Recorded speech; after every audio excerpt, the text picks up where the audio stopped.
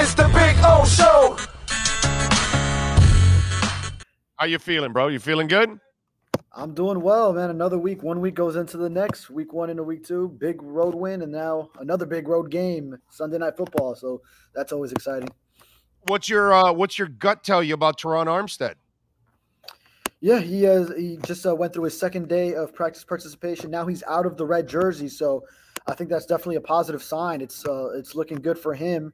Uh, limited participation two days running now. We've seen him uh, practice on very little, if to, to none participation uh, at times before. This is a little different. He's coming off uh, actually missing time from the ankle as opposed to just a week to week sort of maintenance uh, type of routine. But um, so he definitely needs the reps in practice since he is coming back from from missing time. But uh, I think it's definitely a positive sign. And then uh, we, the ultimate uh, update will be tomorrow morning. Uh, Mike McDaniel speaking before his Friday practice. So the the only thing is, what I'm trying to figure out is he going to play this week, or is it this more of a limited week to say, all right, Terron, let's practice you this week and let's see how your body responds. And then if you're all right into next week, then next week we'll get you ready for the game. I, I'm almost getting that feeling that it might be kind of a, a week of let's see where your body's at and how it responds, and if you can stay healthy. And uh, we'll start Kendall this week anyway because he's in a groove right now. Or do you think this is all right? Uh, if he, you know, goes a full go tomorrow, which Friday's practice is really light, he's a full go for Sunday. Is that the way you're looking at it, or or the other way?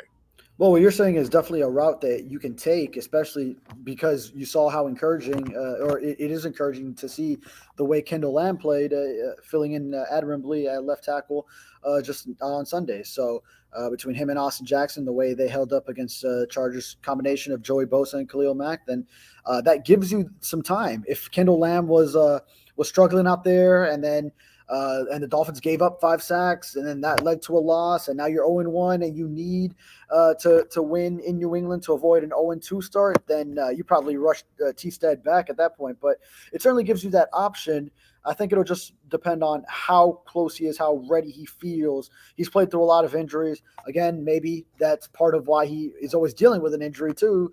Um, maybe give him an extra week. Uh, I mean, I'd be in favor of that if uh, they did go that route. But uh, if Armstead is ready to play, then I, I think they'll they'll go ahead and, uh, and put him out there. Availability has uh, nothing to do with this question because obviously everybody brings that up with Tua. But if you add last year and this game here this week, who's the best passer in the AFC East? Best passer in the AFC East. Ooh, and we're coming off Josh Allen uh, having four turnovers in a game. Uh, full body of work, then yeah, you're, you're saying Josh Allen. Passer. Has, passer. I'm saying. Great okay? passer. Yeah, now Tua shows a lot of impressive things with his anticipation, the accuracy. Um, so I would say still for body of work, then you you give Josh Allen the nod, but Tua is moving up rampantly, and he has a chance to overtake him. If this keeps going the way it's looking with Tua having games like he's having, and uh, Josh Allen uh, still not getting over this uh, turnover, uh, almost like like he's got the yips. Yeah, but, but even without, but even without the turnovers, he's still more accurate than him when it comes to completion percentage. Oh, Tua's more accurate, yeah, for sure. Yeah, There's well, different that, aspects to, to the That's what I'm saying. Yeah. You you you have to give Josh Allen the nod as the better quarterback because he's done it over a longer period of time. Right. But I think in a short period of time, Tua has proven to be the better passer, the more accurate passer on a consistent basis, the better decision maker on a consistent basis. Yes. That's what I mean by I don't mean by quarterback because obviously he needs to do a lot more to pass Josh Allen as a quarterback. So I get it, but just as a pure passer, I'm uh, I, I kind of see Tua as the best passer in the division right now. Yeah, yeah, hey, he's coming. He's coming, and and Josh Allen, a lot of what he does is on the ground too. So when you look at overall quarterback play, and maybe uh, people, uh, I'm factoring that into into the equation as well. Uh, but um, no, that's quarterback. That, that's yeah. quarterback. I'm with you on the quarterback. Yeah. Uh, you, there's no way you put Tua in front of Josh Allen right now with his body of work compared to what Josh has accomplished. But I I believe that Tua has proven to be the better passer out of the two because passer has nothing to do with arm strength running, size, availability, just passer. I just see that guy at another level compared to to uh, Josh Allen. Yeah. And, and, before that end of season run where yeah, he had the two tough games at San Francisco, at LA, especially, uh, and then uh, obviously the second concussion protocol stint uh, took him out of things. And Tua, let's not forget, was in the MVP running the same way now after one game. Tua is a co-favorite, maybe even a favorite, according to whatever odds makers you're looking at uh, in that in that MVP race. After uh, Patrick Mahomes didn't uh, come up with a Week One win in, in against Detroit, so uh, yeah, uh, the the recent history, uh, what what Tua has done in a short period of time since Mike McDaniel has arrived, since he's had uh, finally had weapons with him, and, and Jaylen Waddle year two and year three, Tyreek Hill um, now for going on a second season with him, then yeah. What did you uh, What did you think of the explanation with AVG and David Long from Vic Fangio? That we found out why AVG played more. They were more nickel packages, and he's the starter in the nickel packages. Is that a knock on David Long that, that your big free agent signing isn't an every down linebacker? It is a little bit of a knock because uh, you went ahead and got him the first day that free agency opened, so that was kind of um, your your big signing. Obviously, right after you traded for Jalen Ramsey, then it was that weekend. Then right after that, he was aside from it was Mike White that first day and, and uh, David Long, so definitely a, a guy you were targeting. Uh, so uh, and then if he's not in the nickel package and the nickel package is truly the base package because you're in it um, let's say two thirds of the time like they were against the chargers as opposed to one third uh, and then maybe some other packages as well the dime etc but um, maybe if it's between those two two thirds one third split then uh, that lends to that david long isn't on the field uh, very much. Now Coaches have also said that uh, depending on different matchups, uh, they might get David Long in there for more snaps, but uh, that is a little concerning that he was a, a big uh, acquisition, a big addition that you wanted to contribute, and then you only saw him for 17 defensive snaps. Uh, and some of those were uh, were not great run fits in in a game where you gave up more than 200 yards on the ground. Almost lends you to believe or are they missing a, a presence like the Elandon Roberts, uh, what he provided uh, last year in that same role as a bigger, more physical, um, and also a leader type of uh, linebacker up next to Jerome Baker as the inside backers? Somebody was saying to me here, it says, uh, uh, hey, oh, Davis is still a doubter for whatever reason. And then I said, Davis who? And then he said, David, the guy you're interviewing. You're you're not a you're not a Tua believer? Well, that's news to me because I have always been one of the more positive guys on Tua, even when he was, uh, oh, okay, all right, yeah, even when he was a little down. I, I, I thought that. so. I thought so. yeah, no, I, I, thought so. That's why when he listen, that's why I, I wanted to ask because it was kind of weird. You know, listeners get shit wrong all the time. They they they don't know who they're really reading or who they're watching or whatever, and then they, oh, you said that. No, I never said that. And then it was like somebody else on on you know and it's just one of those things that does happen. So no, I, I, only filled I only filled in for Poupart uh, for that one month. That that's yeah. was. yeah, yeah, yeah, yeah. That's right. Yeah, Poupart is probably still yeah he's still an ins- an insane man. He still probably is not a full believer yet, unfortunately. Uh, we need to put the, the group text was awfully quiet from him uh, after what was that. that. The group text with him was awfully quiet after he until after, the game he had. Yeah, yeah, yeah, yeah. I would imagine. I would imagine. I don't know where he gets his doubt of Tua. I, that that's the part I still don't understand. You could doubt all you want his physical, you know, his availability, you know, his durability. You want to doubt that? That's fine, dude. He's had a ton of problems with that. But I, I, you know, well, you know me. I've been completely on his bandwagon from the get go because I've seen a lot of shitty quarterbacks here for decades. Yeah. And so uh, I know that this guy's not a shitty quarterback. I know this guy can play, bro. He can yeah. play. And, and, you know, you know, one of the things that I I talked about this earlier in uh, on the show, the the everything's come together finally, David. And see, you overreact, not you, but you know the people that overreacted. Like when they drafted him. Okay, so you drafted an injured guy. So the first year, he wasn't going to be healthy. And the second year, it was the process of strengthening that core. So now you had a coach that didn't want you. You didn't have the offensive support that you needed offensive line, running game, uh, coaches, all that kind of stuff. So now You're four years in, or this is going to be your fourth year. You're now two years removed from that surgery. So your core now is at its strength, it's at its max now. So now you're going to be able to get all the torque you can possibly get from your body, like you saw on that play where he runs out from the middle and and throws a 50 yard bomb, you know, to Tyreek. So now he's in the same scheme and the same offense for two years with the same coach that believes in him, that gives him an offensive line because he wasn't running for his life last year. Say what you want about the offensive line, but they did good enough to have four and a half yards of carry for their backs, and Tua was not running for his life. When Tua got hurt, it's because he held on to the ball too long, not because Jesse Davis was on the field. Okay, so now you're seeing it. You're giving him more support. He has more experience. Now he has seen teams over and over again. He has seen coaches over and over again. He is now fully healthy. He now understands the league. He now understands his body.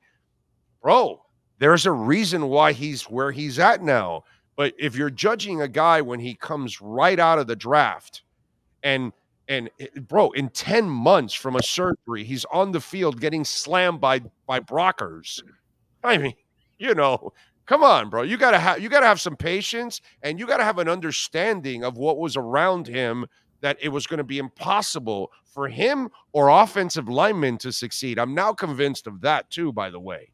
Okay. Because I'm watching Austin Jackson under them and Austin Jackson under this guy, and it's completely different under these guys. And Austin was kind of turning the corner last year, by the way, before he got injured. So maybe what we're watching from Austin this year is some of the stuff that we could have seen, you know, last year. So that's my point. My point is we, we sometimes we just rush to judgment and we don't take all the facts in and give the young man everything he needs in order to succeed. Now physically and everything around him, he has what he needs to succeed. And there it goes.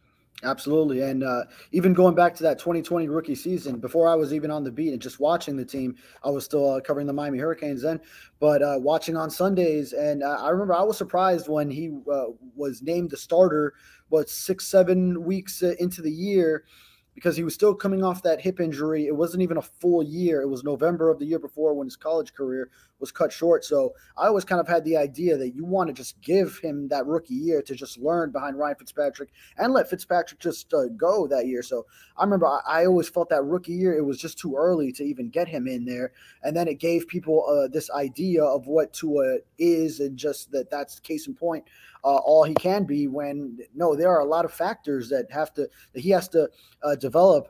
Uh, and especially getting his health right uh, before you could really truly judge him. And then now, uh, so much, and, and, a lot of the points you hit on, boy, I'm feeling like this is exactly what has been in my uh, uh, season preview uh, stories on Tua the past two years um, in our big preview sections. where this year I talked to him in exclusive in an exclusive interview about just uh, everything aside from the injuries, just having the second year in the same system, how important that is, and uh, how he's grown and matured not only as a player but uh, as a man, being a father, and then how that has changed his approach and his mindset, uh, the way he leads, uh, and then the year before that, uh, how he has worked with um, uh, not only his uh, training staff, at this training staff with the Dolphins, but on the side with uh, his personal trainer Nick Hicks, and uh, improving that torque, that that lower body strength that lets him get his whole body into some of these throws, and, um, and now has had him max out some of his throwing potential on, on, these deeper balls, and even that throw, that big third and ten, hey, he had practiced exactly that with with his trainer and you see it come to fruition on a game day. So uh, this guy really he he checks all the boxes in his preparation, and then you see it come true on game day. Let me ask you something. Since you covered um, college, let me go a little bit off the beaten path and stay in the same division, but talk about another quarterback. Is Ken Dorsey getting a little exposed there in Buffalo? Hmm.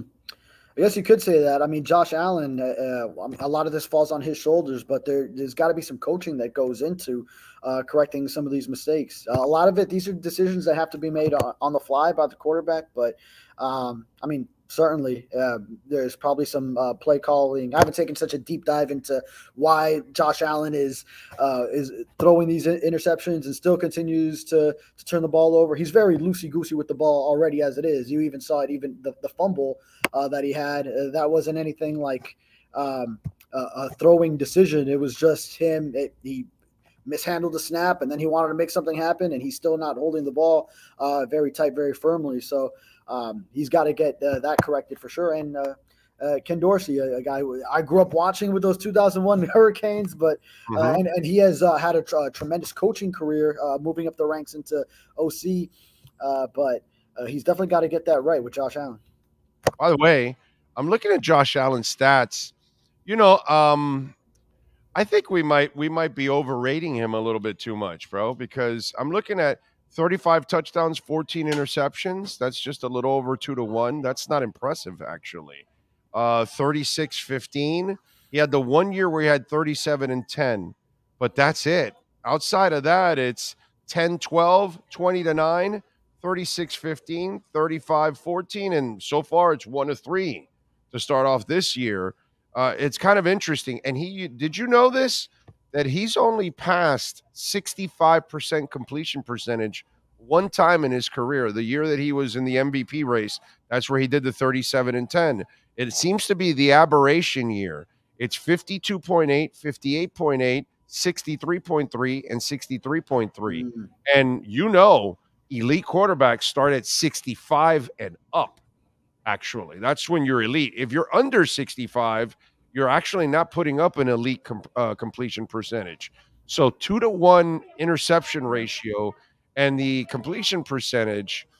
I got to tell you something. I think we're uh, think we're overrating this guy a little bit as a quarterback. I'm just saying. Yeah. Athlete different, but quarterback, mm, I don't know.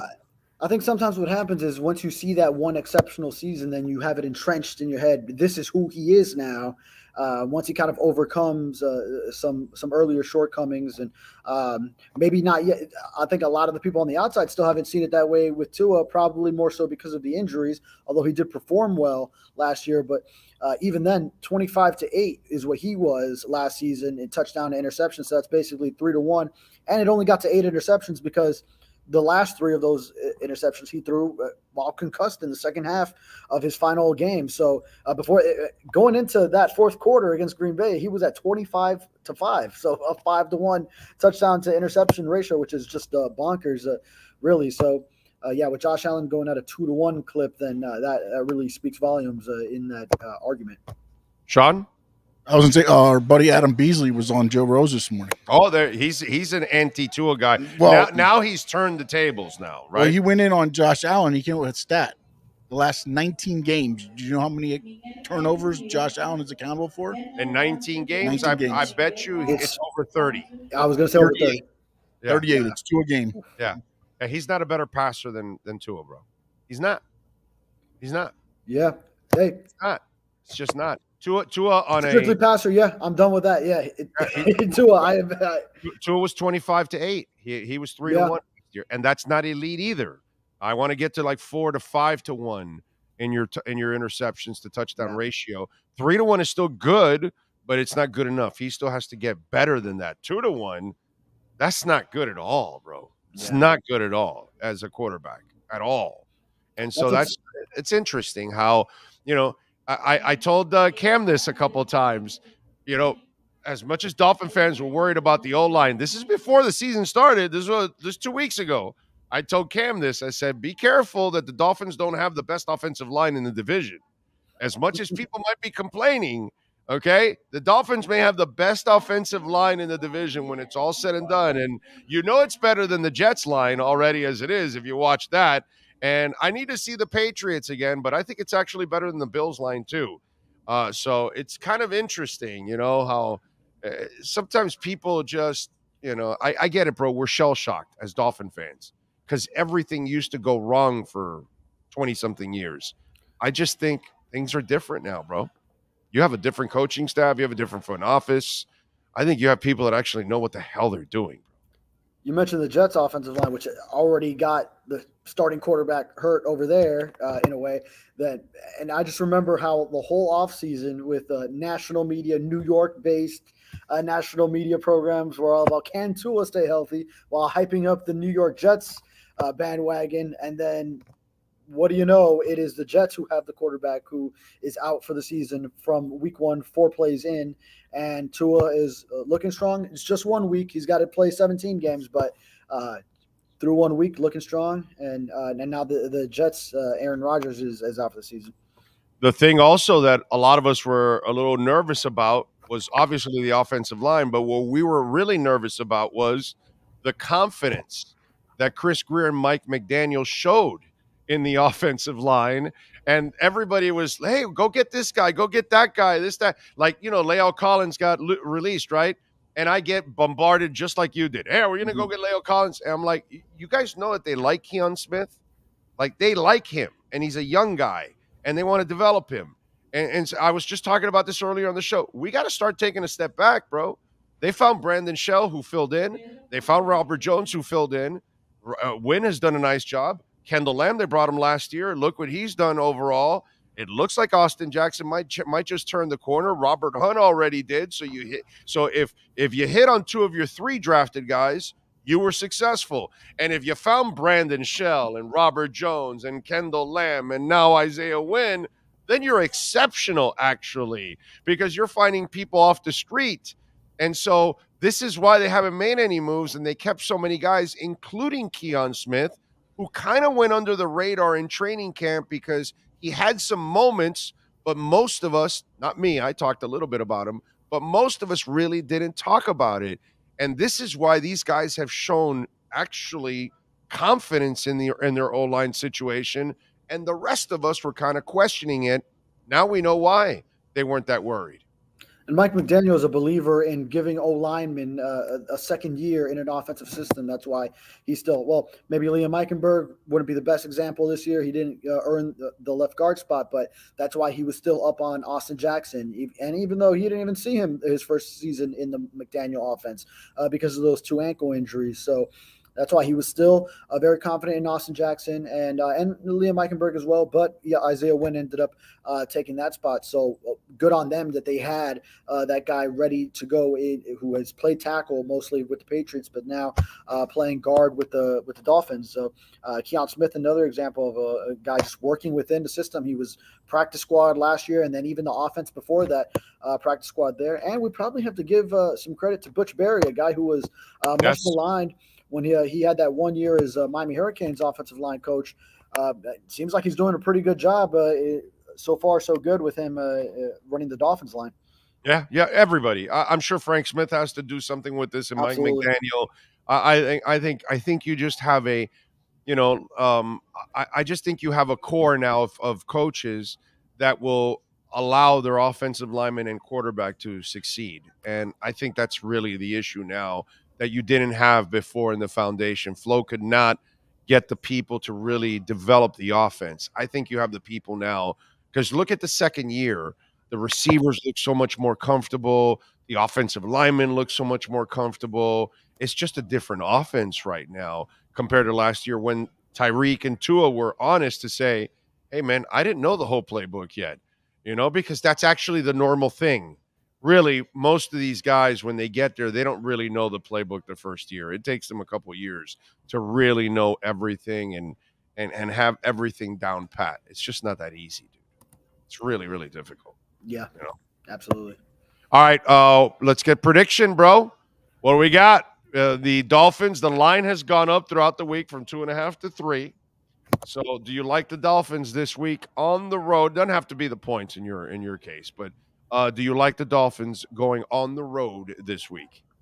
Okay, good thing it doesn't have to be the points because I do have the Dolphins winning. I made this prediction in the Sun Sentinel, but I have Dolphins 24, Patriots 23. So I think this will be a very tight, contested AFC East battle. I think it usually is uh, on the road in the division.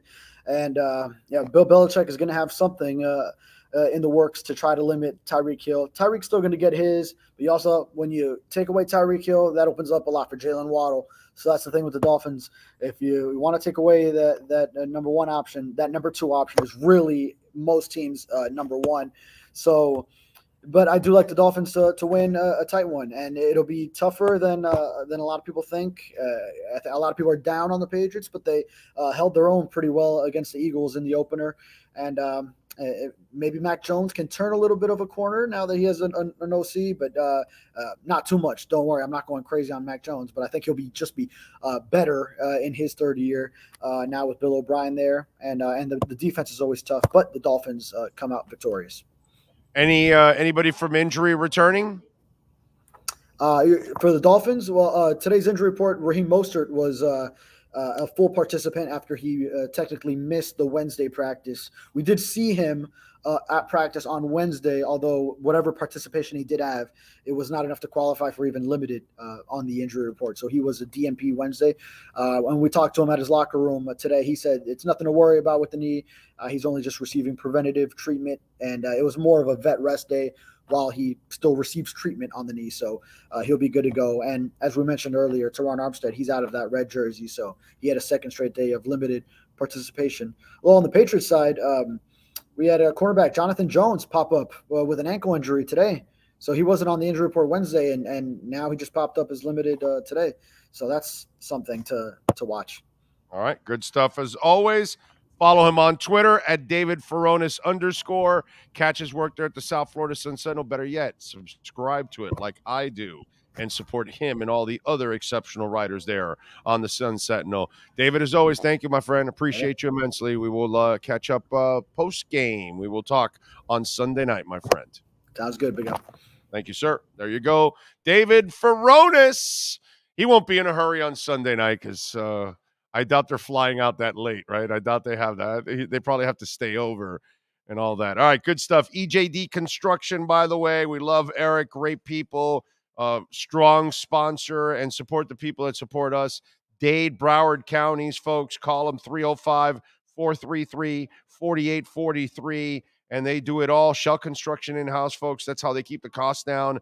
And, and, and again, we're talking about custom home construction and major home remodeling, not a handyman. Okay, so if you're looking to build an efficiency, uh, maybe you want to build a second floor to your house, maybe you want to build an observation deck, maybe you want to modernize the kitchen, modernize your uh, your uh, man cave, whatever it is that you want to do. Custom home construction, major home remodeling. One of our listeners sadly had a fire. They had to have their home remediated. They did that. Dade and Broward counties. Call Eric. That's the owner's personal cell number 305 433 4843.